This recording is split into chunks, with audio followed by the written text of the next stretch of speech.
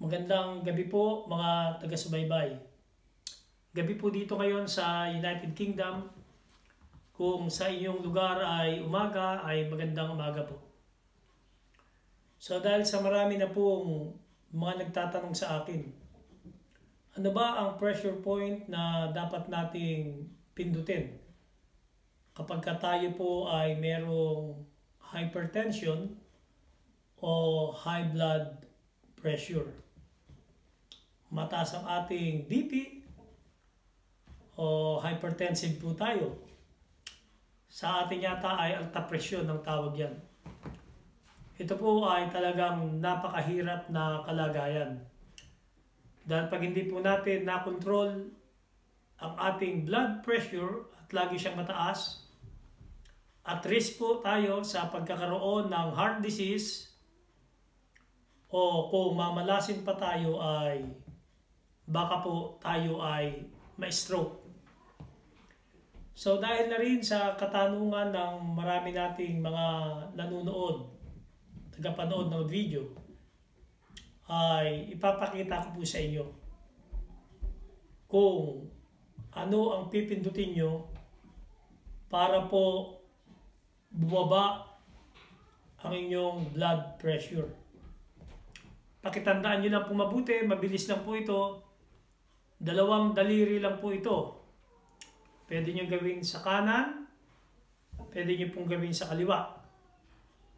Pwede nyo pong gawin araw-araw, pwede nyo gawin sa umaga, pwede nyo gawin sa gabi, dalawang beses, araw-araw. Nasa sa inyo po yun. Ngayon, ituturo ko na po sa inyo kung nasaan yun. Tingnan nyo pong mabuti, ano po? At doon po sa mga nanonood na nagtatanong po, ay sana po hanapin nyo muna doon sa mga nauna naming video. Kadalasan po kasi ay uh, yung mga katanungan nyo ay may sagot na po tayo eh. Halimbawa, nananakit po yung balikat, meron na po tayong video tungkol po sa shoulder pain.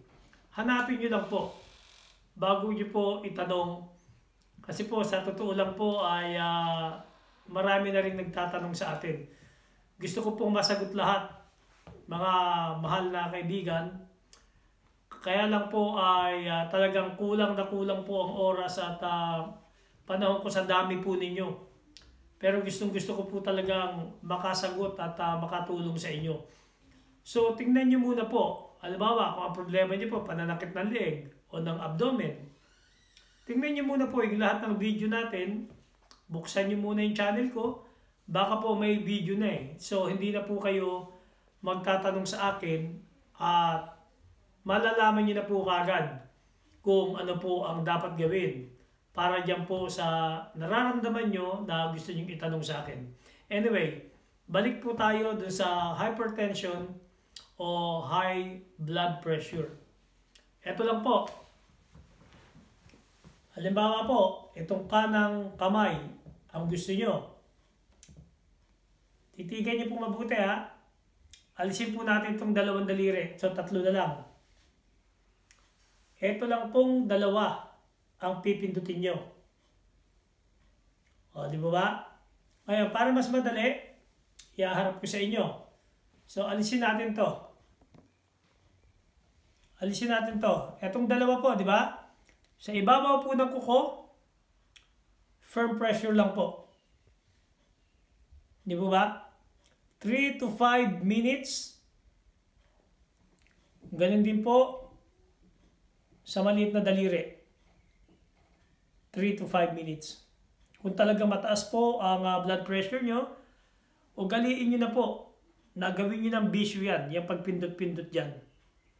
Yan po ang pressure point para po bumaba ang inyong blood pressure. Kung sa kaliwa naman po, ang hirap eh. Oh. Tandaan nyo, yung pinakamalaking daliri, sa ibabaw ng kuko, firm pressure, huwag nyo nga angatin, basta pag pinindot nyo, firm. Manatili kayo sa ganyan ng 3 to 5 minutes at pagtapos ay dito rin. Makakatulong po yan para bumaba ang inyong BP. So gawin po natin ito kaagad. At ah, kung kayo ay nagpatingin na sa inyong doktor at meron silang inireseta sa inyo na iniinom nyo, ituloy nyo lang. Di po ba? Kasi pinag-aralan nila yan. Pero itong itinuturo ko sa inyo na gagawin nyo kung nasa ng mga pressure point ay makakatulong din po. So again po no, ulitin ko, kaliwa man o kanan, malaking daliri at yung pinakamaliit. Silang dalawa lang po. Ah, di po ba?